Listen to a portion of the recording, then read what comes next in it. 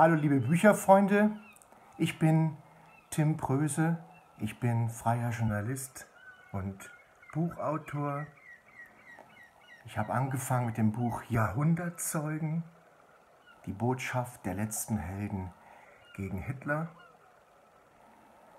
Dann habe ich die Biografie von Dieter Hallervorden geschrieben und von Mario Adorf. Ich habe ein Buch über die Samstagabendhelden geschrieben, mit denen wir groß wurden. Ja, und jetzt erschien mein jüngstes Buch, Jan Fedder, Unsterblich, die autorisierte Biografie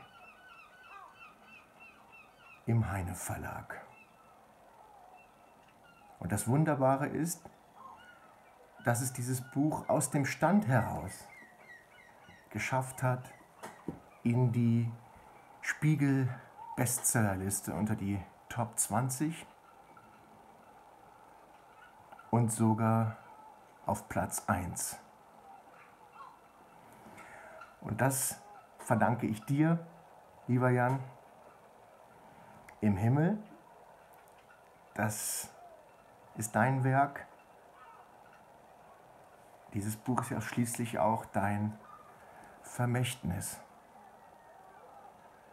Du riefst mich vor einem Jahr an und sagtest, es wird doch jetzt mal Zeit, mein Leben mal aufzuschreiben.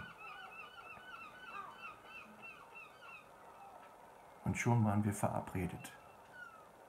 Etwa ein Dutzend Mal habe ich dich im letzten Jahr begleiten dürfen. Ich habe dich besucht in deiner Wohnung auf St. Pauli, auf deinem Bauernhof in Schleswig-Holstein, am Filmset, und jedes Mal schien es mir so, als würde die Zeit aussetzen, als würde die Zeit stillstehen. Sowas gibt es nur mit dir. Wenn du erzählt hast, verlor man das normale Zeitgefühl.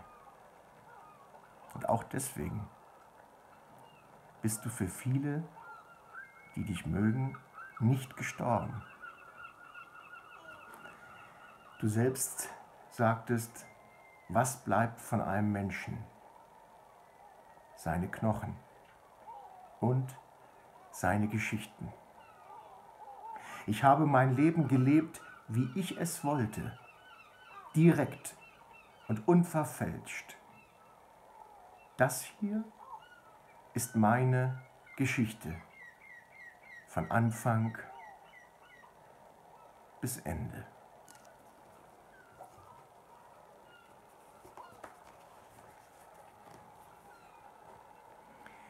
Der Mann am Wasser sagt, das sei der Wind. Der sei schuld daran, dass seine Augen jetzt so schimmern. Und nicht etwa all das Schöne und Schreckliche, an das er sich erinnert in diesen Tagen, denn der Wind, der weht ihm mitten ins Gesicht hier am Hamburger Hafen. Lebenslänglich schon. Meist kommt er von vorne, selbst wenn der Mann für dieses Buch lange und weit zurückblickt.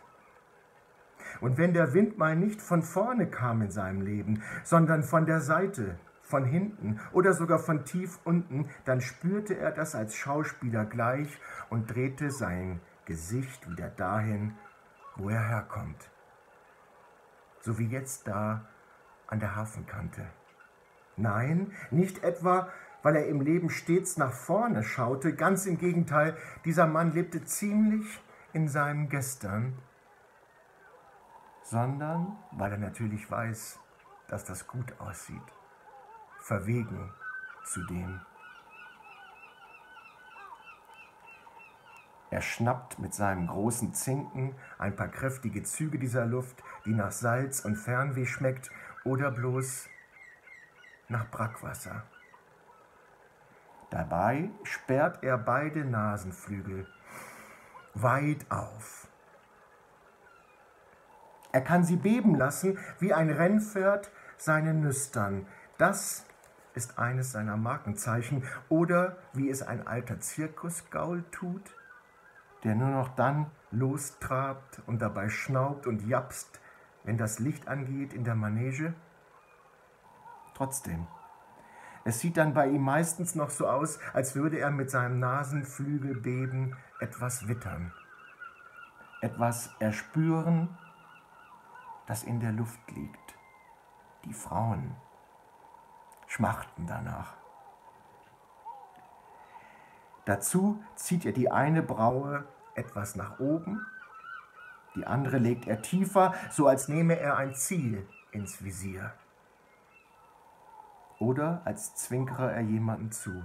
Fast schon fertig ist dieser Mann dann mit seiner Pose, aber halt, jetzt noch den Hans Albers Gedächtnisblick schärfen und mit dem dann starr am Horizont entlang schauen so wie damals auf der Brücke von U96, als er den Matrosen Pilgrim spielte in Das Boot.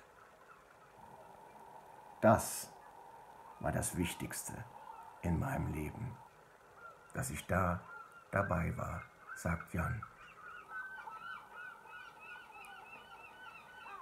Und wie er diese Worte so dahin feddert, und die steife Brise sie fast schluckt, öffnet er seinen geliebten Ledermantel mit den Silberknöpfen, denn dann bläst der Wind in ihn hinein und bläht ihn auf wie ein schwarzes Segel. Er lässt ihn hinter ihm herflattern und knattern wie eine Fahne. Fedder geht's nicht. Viel Zeit bleibt ihm nicht, die perfekte Pose zu genießen, denn dann haben sie ihn schon erkannt, hier unten am Hamburger Hafen, ganz nah bei der Überseebrücke, an der er groß geworden ist. Und wenn sie ihn hier erkennen, gibt es einen Tumult. In einer Traube stehen die Menschen bald schon um ihn herum, bannen den Moment mit ihm in ihre Handys und plündern seine Autogrammkarten. Sind die alle weg, reichen sie ihm Zettel oder strecken ihm ihre Hände und Arme hin für ein Autogramm, bis es nichts mehr gibt, auf dem er unterschreiben kann.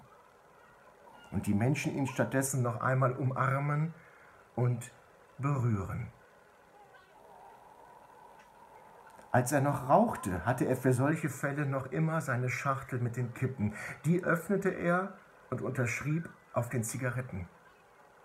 Wenn die aus waren, zerpflückte er die Schachtel in kleine Schnipsel, aber selbst dann wären noch ein paar Menschen leer ausgegangen.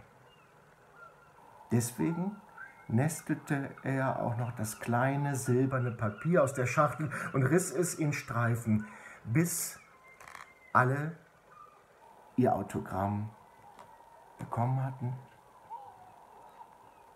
und Jan alles gegeben hatte. Ja, lieber Jan, du hast immer alles gegeben. Dafür Dankeschön. Und wenn dieses Buch ein Denkmal ist aus Zeilen wenn sich die Menschen an dich erinnern, wenn sie es lesen, dann bin ich glücklich.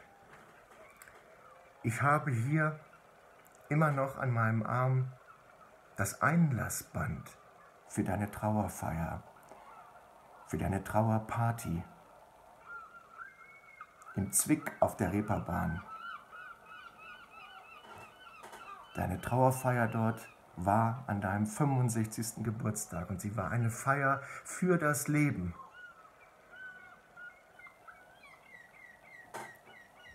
Und auf diesem Band steht, bis dann Jan. Und liebe Lesefreunde,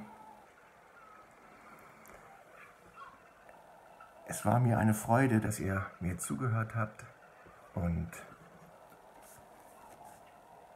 ja, dass ihr an Jan Fedder denkt und ihn nicht vergessen werdet. Bis dann. Jan, euer Tim Bröse.